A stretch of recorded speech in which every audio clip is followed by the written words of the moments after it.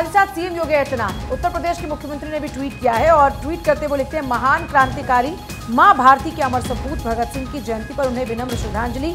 मातृभूमि की स्वतंत्रता के लिए उन्होंने त्याग, संघर्ष और बलिदान की जो गाथा लिखी है, वो युग युगांतर तक देश की सेवा की प्रेरणा देती रहेगी।